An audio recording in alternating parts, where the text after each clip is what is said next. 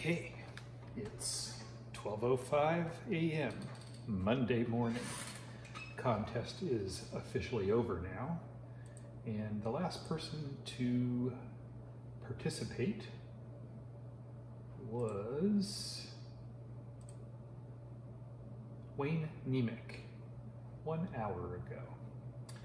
And it looks like there were 76 comments on here. I'm guessing half of them were from me as I responded to your answering the four questions I had asked. And I really enjoyed the interactive nature of this particular contest and found your responses to my questions to be very interesting and enlightening. Uh, let's see what the first question was um, about backyard bugs, pet bugs, bug trip videos. What is your favorite to watch of those? And I was actually very surprised to hear that uh, overwhelmingly people enjoyed the pet bug care videos more than the uh, Arizona trip videos. I like taking the trips and I guess when I'm making the videos, it brings back all of the memories of me encountering these bugs that I don't normally see through the course of my daily business. And also, I'm hanging out with my friends during those times. And so I was surprised because I enjoy those videos so much, making them, piecing them together. But it really does make sense because many of you know me because of the business that I run and are pet bug uh, keepers yourselves. And I have been answering questions since even before I put my website up about pet bug care. So I do know and I do understand that even my own website is very lacking in terms of information about the perfect care for so many of these things. And while it may be rather obvious to me that, for example, all of the desert beetles like the darkling beetles and the death feigning beetles of various species that I offer through the website. All of those things have the exact same care. I know for a lot of people, they really want it spelled out very simply for them so that they can, before they make a purchase and um, start to care for a new pet, they want to completely understand how to take care of it properly. And that's the responsible and right thing to do. And the second question was, have you ever kept a pet, uh, a bug as a pet? And to name at least one. And um, I really enjoyed hearing uh, the variety of responses to that question as well as to the other, the third question about how people found my YouTube channel. No surprise that a lot of people come from Instagram or my website. It was neat to hear that a person or two found me through Aquarimax here on YouTube, another channel that I really like. Russ over there is wonderful and did a video recently about the care for desert beetles that was masterfully done, if I may say so. Um, and then the, uh, I think a couple people said they had sort of randomly, at least one person said they randomly found me on YouTube, which is kind of neat because for me, that's the hardest group of people to reach are people who are on YouTube but have no familiarity with me through other YouTubers or other social media platforms or through my business, which has been around for uh, almost as long as the internet. uh, and then the fourth question, what is the uh, is a memorable moment with you and Bugs? And that was by far my favorite uh, of the four questions to read answers to. a lot of sentimental stories for people, and I really enjoyed um, just the uh, how personal those stories were. And, um, you know, I have so many of my own memories and, you know, I have a sentimental nature sort of in general. And to read about childhood experiences and family relationships and memories that were built around insects, it's, it's been such a big part of my life. So it's really neat to, um, you know, see that same sort of experience set and basis for other people. And so that was a lot of fun and I liked it a lot. So what we're going to do now is I'm going to copy this URL up here. I think I have a few too many characters in that URL because it was picking it on the basis of a timestamp partway into the video. Anyway, I have the URL now and I'm going to pop it over here onto this YouTube random comment picker. And what we're doing here is we are drawing, uh, there was only one winner for the contest this week. I sort of took a week off, as you guys probably noticed. I've been pushing myself a lot lately here on YouTube and neglecting a little bit my Instagram uh, followers. I've got 79,000 followers over there on Instagram. And for the last couple years, they got the bulk of my extra time. And uh, I started TikTok, uh, I don't know how many months ago, not too long ago, but I have uh, 40 some thousand or so um, followers on that platform as well. And uh, I've really been working hard on YouTube because I uh, can it's more interactive in a way, even though I don't have a lot of followers yet. And so, you know, the number of people to interact with is a little bit lower. It really allows me to put a lot of time into it and to make longer videos and um, to show you guys more things and to share my experience with you guys in a way that the other platforms don't allow for.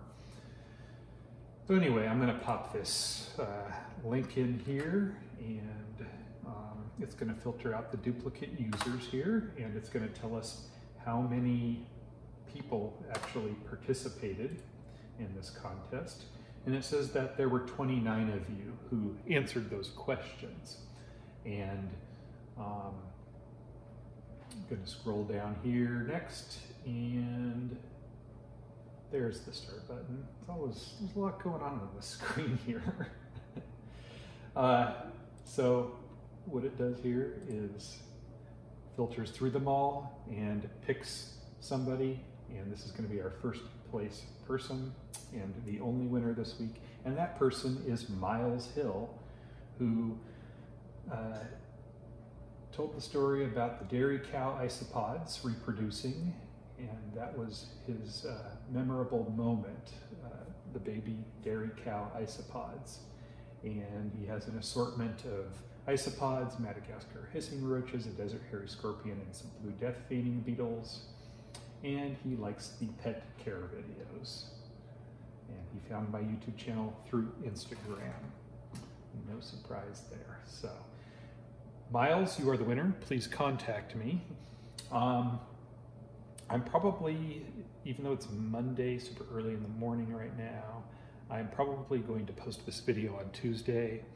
And um, somewhere hiding later in this video, I'm also going to select one more winner, not right now, but before I upload this video on Tuesday.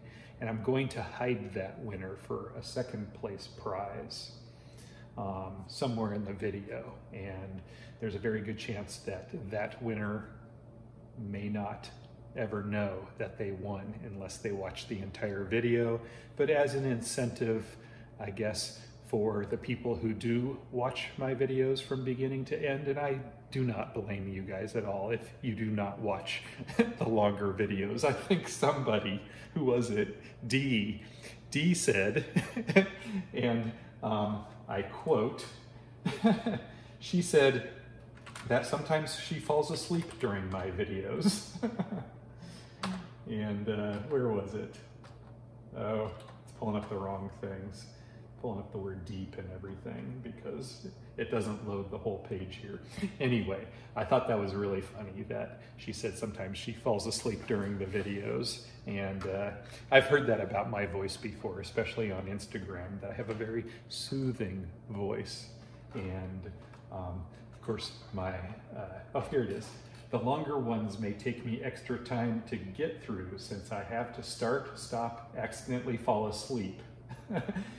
you know the perks of working the third shift. So she wasn't saying that I was boring at all. She was just saying that she does sometimes fall asleep because she works an odd uh, shift at work. And I know exactly how that is because for a year or two, I worked from about midnight until about eight in the morning. And uh, that was the roughest year or so of my life, especially trying to drive home. I could never adjust to that sleep schedule. And my daughter uh, my youngest, she was extremely young at that point. That was a very rough year, and so I know what you mean, Dee. I'm just giving you, giving you a hard time. Um, but uh, yeah, I don't, I don't blame anybody if you don't uh, watch them through. But I know that some of you do, and so I'm going to throw up another prize here. So keep your eyes and ears open for that.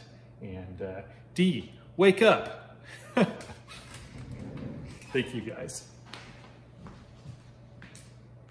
So just real quick, the remainder of this video is just sort of an explanation for how I spend my Sundays. I thought some of you, uh, some of you may be aspiring uh, bug dealers.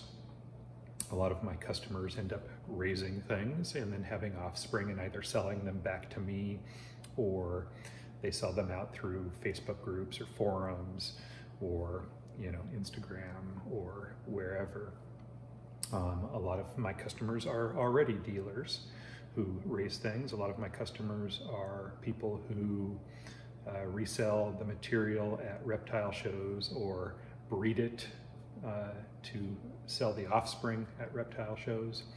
And so I just thought that some of you might be interested to see how I spend my Sundays. Um, really, the process begins on Saturday when I start reviewing orders that were placed Thursday through Saturday. And because all of my orders from Thursday to Sunday ship on Monday or Tuesday. And so uh, you'll see what I did with my, uh, my orders shipping out Monday as you watch the rest of this video, but I have a stack of invoices here for orders that will ship out on Tuesday in addition to any orders that come in on Monday, those always ship on Tuesday as well.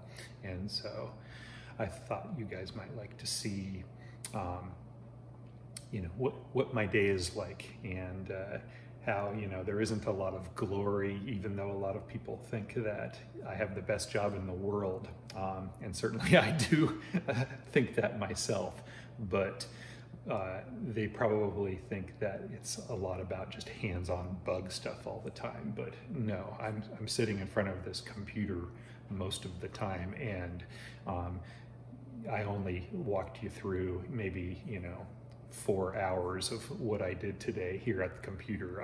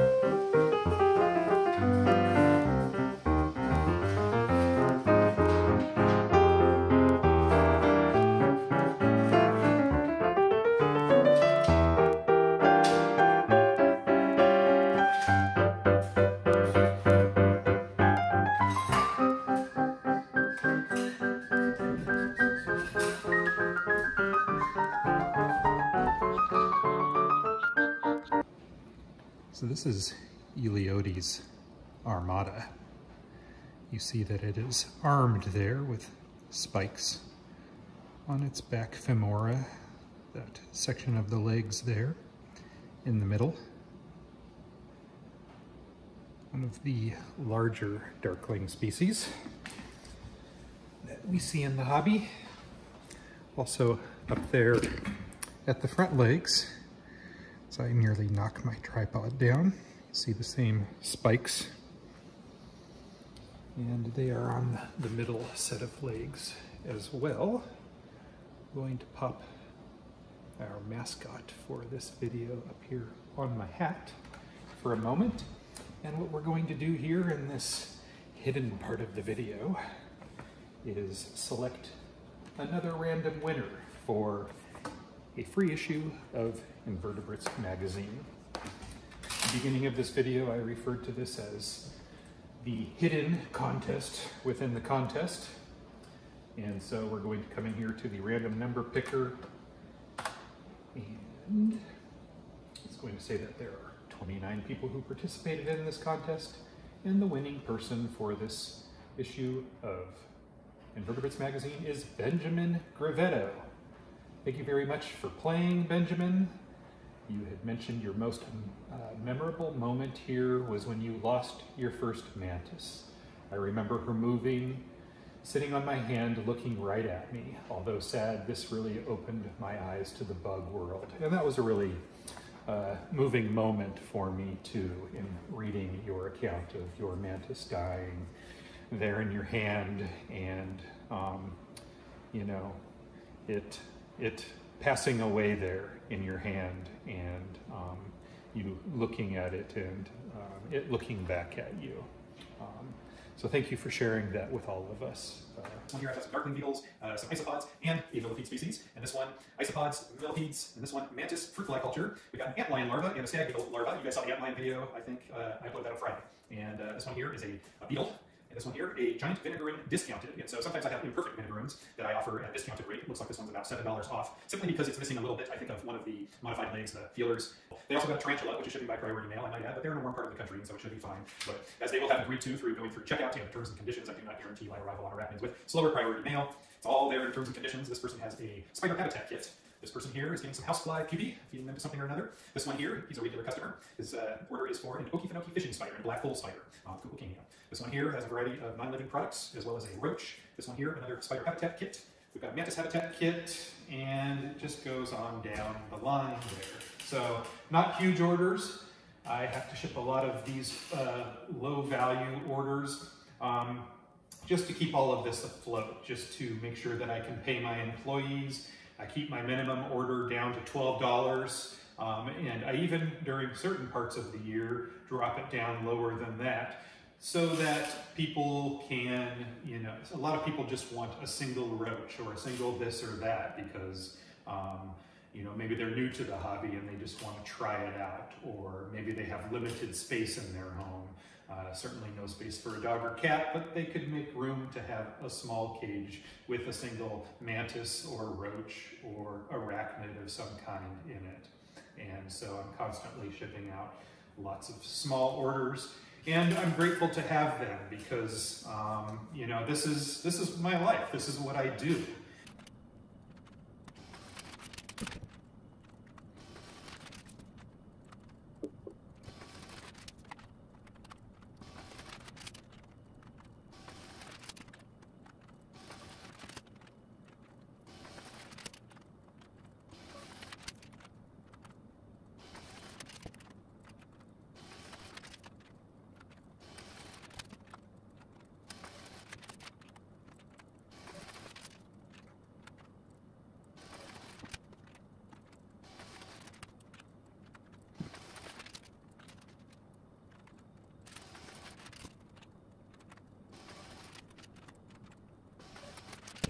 Hey, if you like me, give me one of those thumbs up. And please subscribe and hit the little bell so you know when I post next. Please share me with your friends on social media. Thank you for watching.